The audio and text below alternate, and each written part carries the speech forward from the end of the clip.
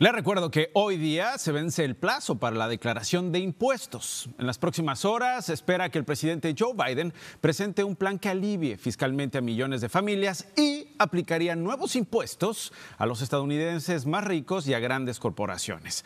Si usted aún no ha rendido cuentas al tío Sam, preste atención a las siguientes recomendaciones que nos preparó Erika Flores. Llega la fecha límite para presentar las declaraciones de impuestos de 2021, pero pese a contar con tres meses para declararlos, cada año son millones de estadounidenses que lo dejan a último momento. Es una cuestión, un tache para nosotros los, los latinos, pero bueno, aquí estamos. Por cuestión de tiempo, trabajo, todo. Si usted es uno de ellos, debe tomar en cuenta que en esta temporada de impuestos existen diferencias a otros años. Por ejemplo, cómo se tratarán los beneficios por desempleo y la declaración de los diferentes créditos que otorgó el gobierno por la pandemia. La gente que recibió eh, estímulos y recibió adelantos de su reembolso eh, reciben formas en enero, febrero y nada más las tienen que traer para reportar eh, lo que recibieron. Para quienes califican pero no recibieron el tercer estímulo económico, los expertos dicen que aún pueden reclamarlo al declarar sus impuestos de 2021.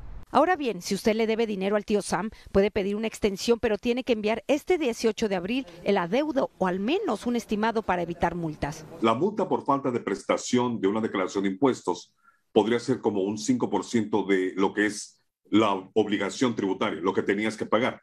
Um, y eso incrementa cada vez. Hasta el 8 de abril, el IRS había recibido más de 103 millones de declaraciones y había emitido más de 70 millones de reembolsos con un valor de más de 222 mil millones de dólares. Este año, el Servicio de Recaudación de Impuestos enfrenta el mayor retraso en procesos en la historia. La falta de personal es una de las razones. Javier Moreno da una recomendación para que su reembolso le llegue a tiempo. Presente su declaración de impuestos electrónica. No lo haga de ser posible, no los mande por correo. Preséntelos de manera electrónica y su reembolso prográmelo para que se le deposite en su cuenta de banco. Erika Flores, hoy día, Noticias Telemundo.